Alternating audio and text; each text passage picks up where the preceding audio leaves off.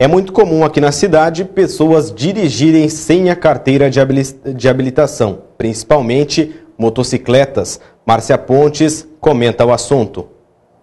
Olá, boa noite.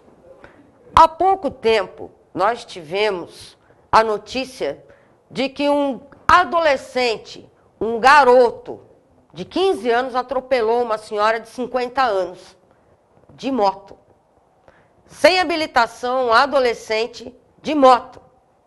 Atropelou uma senhora em via pública. De quem é a responsabilidade? Será que os pais não sabiam que esse rapaz estava dirigindo a moto? É, será que é a primeira vez que ele pega a moto para ir para a via pública?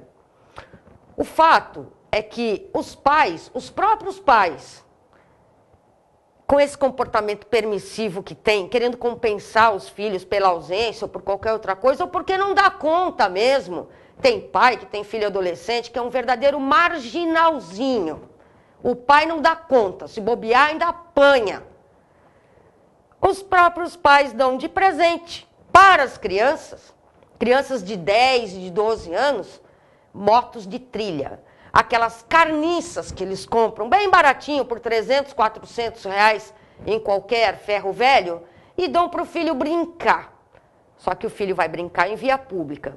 Quando esse rapazinho fizer 12, 13, 14, ele já vai estar tá andando pela cidade inteira. Ele já vai estar tá empinando, ele vai achar que ele dirige melhor do que todo mundo.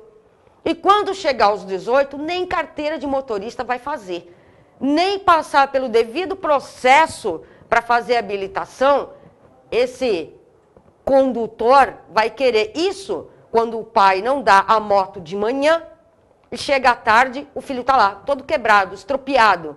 Quando não, morto.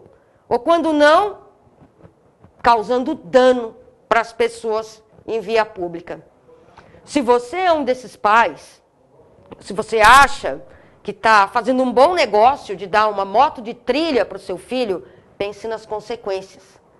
E a maior delas, se você não pensa na consequência do seu filho machucar e causar um dano a alguém, pense no mal que você está fazendo a si mesmo de dar uma moto de trilha para um menor de idade.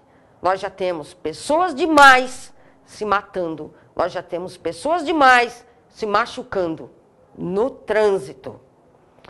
Por favor, senhores pais, vamos ter mais juízo.